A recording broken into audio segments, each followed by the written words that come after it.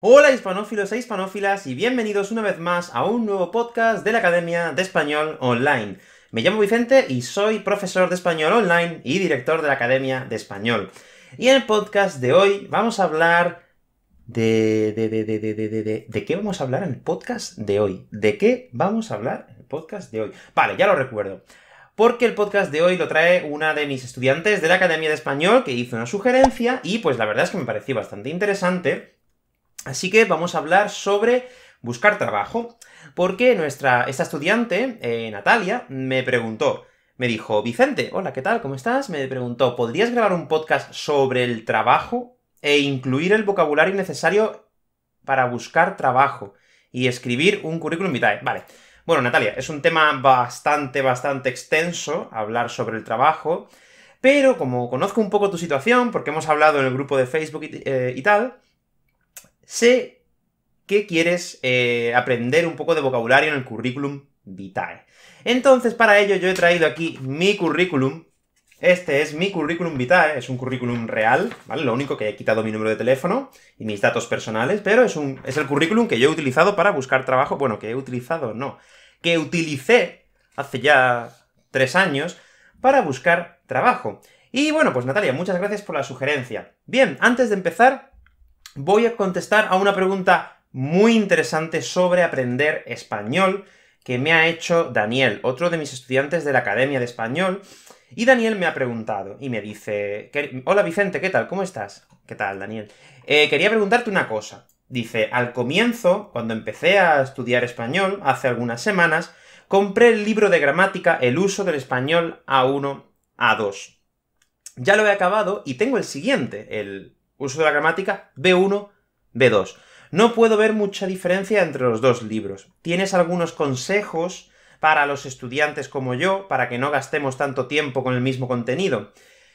Bien, sí, esta pregunta, Daniel, es interesante para todos los estudiantes. Mirad, porque cuando empezamos a aprender español, la mayoría de estudiantes lo que hacen es comprar un libro y trabajar solo, solo, solo con ese libro en concreto. ¿Es una buena recomendación estudiar gramática? Desde mi punto de vista, sí. Pero. Pero, pero, pero. Pero, pero. Vale. Pero, repito, pero. No solo estudiar gramática, Daniel, porque si, tú terminas este libro de gramática, este libro que tú has mencionado se llama Uso de la gramática del español. Yo personalmente trabajo con estos libros y los utilizo mucho, ¿vale? Eh, sinceramente, mi recomendación no es usar solo y exclusivamente estos libros. Y te digo por qué. Porque estos libros, libros, son solo de gramática. Y si tú estás empezando, empezando a estudiar español, vas a necesitar muchos más aspectos y mucho más input. Input, ¿qué es? Es toda la información que tú recibes en español o sobre, sobre el idioma español, ¿vale? Entonces, yo personalmente no te recomiendo trabajar solo y exclusivamente con este tipo de libros. ¿Por qué? Porque a lo mejor vas a saber cómo conjugar el pretérito imperfecto, o por ejemplo el pretérito pluscuamperfecto, pero a lo mejor no vas a saber utilizarlo cuando tengas que hablar. Entonces, Daniel, mi recomendación es que vayas muy poco a poco con estos libros. Muy poco a poco. Y complementes ese conocimiento sobre la gramática con quizás, por ejemplo, con podcasts, con vídeos, o con vídeos en YouTube, lo que tú quieras, o con series. De esa manera, al mismo tiempo que tú estás aprendiendo esa gramática, lo estás complementando con contenido real. Por ejemplo, también te recomiendo estos podcasts, que tú que estás en la academia puedes descargarte el PDF y mientras yo voy hablando puedes ir leyendo la transcripción, tienes el vocabulario, tienes actividades. Yo lo que te recomiendo, Daniel, no es que vayas un libro, pum, he terminado. Venga, siguiente libro, pum, he terminado. Siguiente libro. No. Yo lo que te recomiendo es que vayas mucho más despacio. ¿Por qué? Pues porque aprender español no es cuestión de un mes o dos meses. No. Y si algún día os dicen lo contrario, no es lo más acertado. Pero bueno, aprender español es un proceso continuo. Entonces yo, yo para esto, Daniel, te recomiendo que vayas un poquito más despacio, que si por ejemplo aprendes el presente simple, que, por ejemplo, practiques tú solo en casa, hablando de, o diciendo, por ejemplo, qué haces normalmente, que se utiliza el presente simple, o escuches a gente, eh, vídeos en podcast, etcétera, etcétera, hablando sobre eh, lo que hacen normalmente para que puedas interiorizar ese presente simple, no solo con gramática, porque al fin y al cabo conjugar un verbo en presente simple básicamente es cambiar la terminación, si es un verbo regular, ¿sabes? Entonces, Daniel, yo creo que te recomiendo es ir poco a poco e ir consumiendo otro tipo de contenido. Ya has hecho un libro de gramática, perfecto. Escucha un par de podcasts, perfecto mira un par de vídeos en internet, lee un par de artículos en el periódico o en blogs independientes, como tú quieras. Y poco a poco ya vas subiendo el nivel y pasas al uso de gramática B1, B2. Pero mi recomendación es ir poco a poco. Esa es mi recomendación personal como profesor de español. Bien, bueno, ya no os entretengo más. Vamos a empezar con el podcast de hoy. Si estás en la Academia de Español, descárgate el PDF en el podcast episodio número 36, tendrás ahí el botón rojo para descargar el PDF, y empezamos.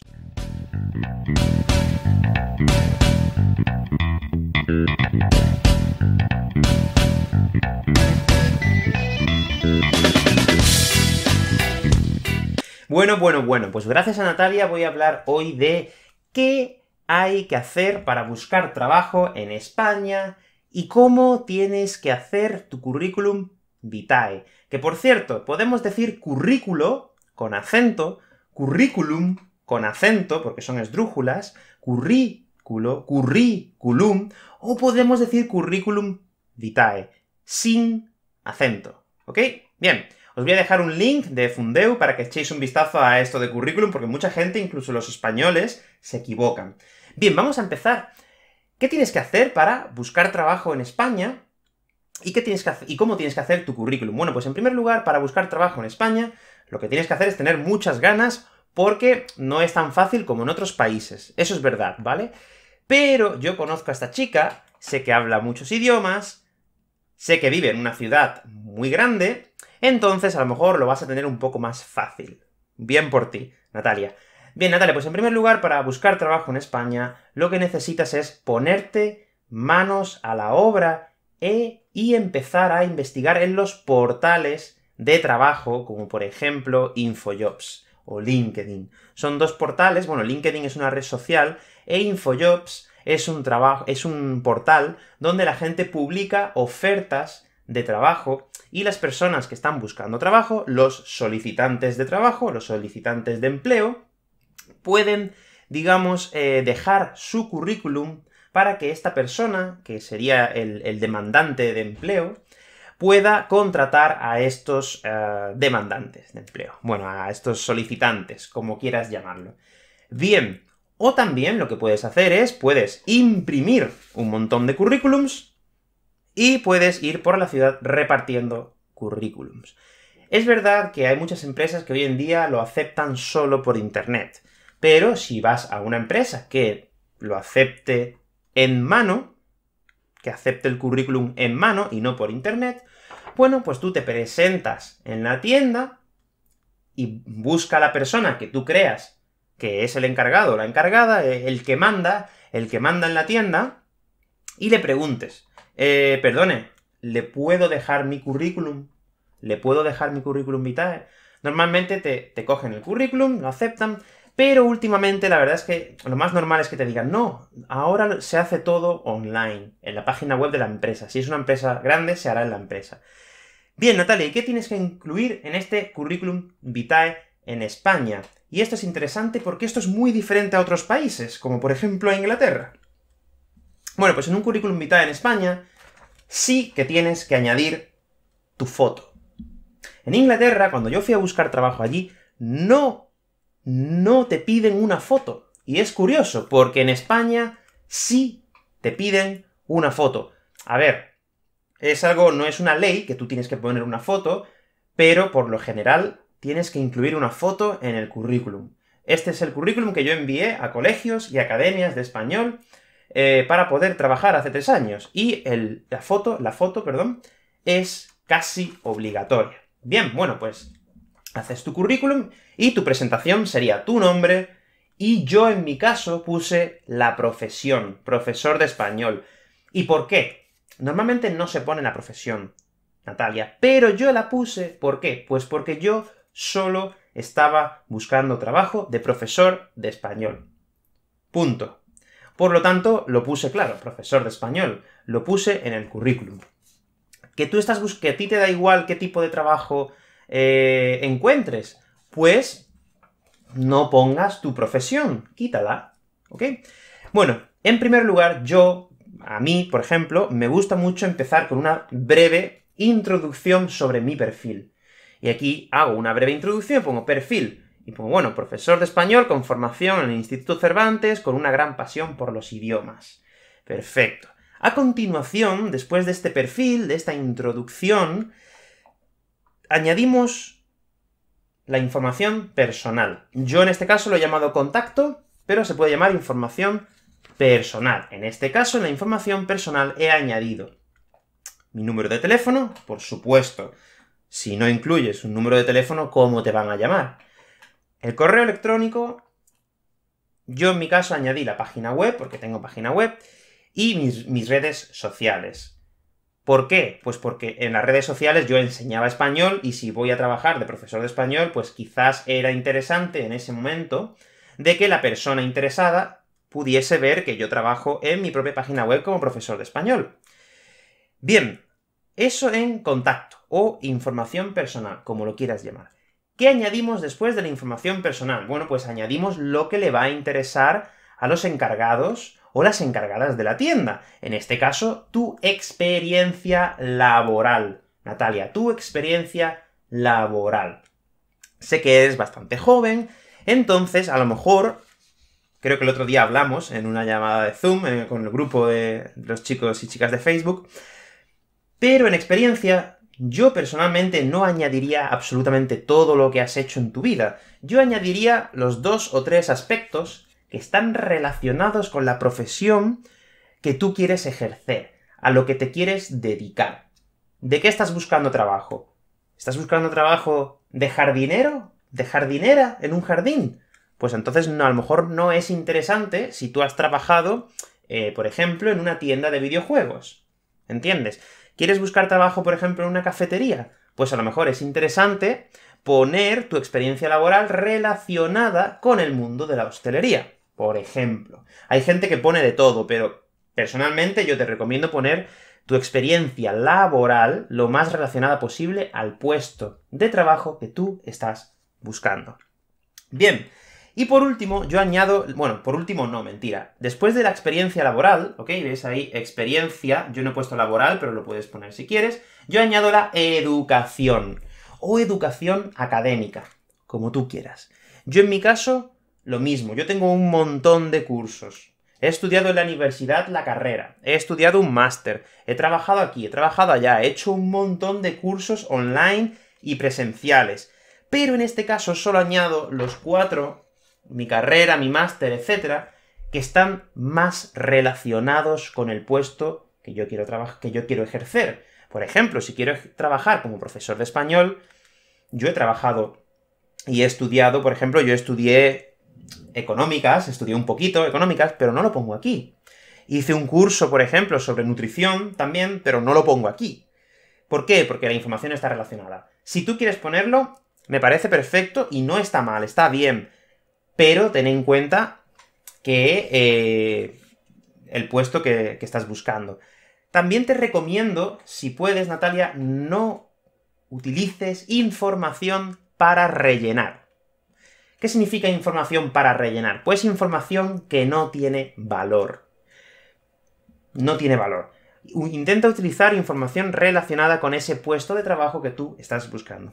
Y por último, y esto sí que lo valoran mucho las empresas cuando van a contratar a alguien, yo he añadido una parte, un apartado, que se llama información, no sé si se puede ver, aquí creo que sí, información adicional, donde añado toda la información que no estaría dentro ni de experiencia ni de educación, como por ejemplo mi nivel de inglés, que estuve de Erasmus en Letonia, por ejemplo, eh, que sé utilizar las redes sociales y, páginas web, por ejemplo, eh, que estoy especializado en los exámenes DELE, que, puedo, que se me da bien trabajar en equipo, y que me gusta aprender constantemente.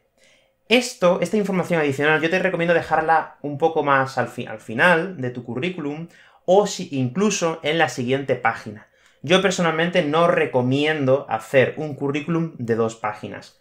¿Por qué, Natalia? En este caso porque no lo van a leer. La mayoría de, encargados de las tiendas suelen tener muchos currículums, entonces lo que hacen es mirar muy rápido un currículum. Y por último, no sé si te habrá gustado el diseño de mi currículum. Mucha gente, cuando se lo enseño, me dice, oh, me gusta mucho. De hecho, cuando repartí, repartí currículums, me llamaron de muchos sitios para trabajar. Tengo que ser sincero. Y muchos me dijeron que les gustaba el diseño. Te recomiendo una página que se llama canva.com, es gratuita, te registras con tu Gmail y puedes em, diseñar un currículum súper chulo. Este lo hice yo, pero hay unos diseños buenísimos. Bien, Natalia, entonces, mi recomendación es que tú que estás en una ciudad grande en España, es que imprimas 100 currículums. Y por cada tienda que vas pasando, pregunta, disculpe, siempre formal, de, una manera formal, ¿eh? Ten en cuenta que estás buscando trabajo disculpe, ¿podría dejarle o podría dejar un currículum? Y básicamente te van a decir, sí, puedes dejar, un, puedes dejar tu currículum, aunque tú no necesitas decir mi currículum, porque se entiende que, que eres tú, ¿vale? Entonces el, encargado o la encargada te va a decir, sí, dame tu currículum. Y normalmente te dicen, ya te llamaremos. Y esta frase, la frase que todas las personas que buscan trabajo es la más repetida, ya te llamaremos, ya te llamaremos, es una frase que, bueno, a lo mejor, pues, a lo mejor te van a llamar de verdad, pero lo más seguro es que no. ¿Ok? Esto es lo que dicen siempre, ya te llamaremos. Se lo dicen a todo el mundo. Ya te llamaremos. Es la frase típica de las personas que buscan trabajo. Ya te llamaremos. Hay veces que te llaman y hay veces que no, depende. Pero Natalia, yo estoy seguro de que con tus ganas de aprender español, con los idiomas que hablas y en la ciudad en la que estás, yo creo que vas a tener mucha suerte y te deseo lo mejor. Y eso ha sido todo en el podcast de hoy.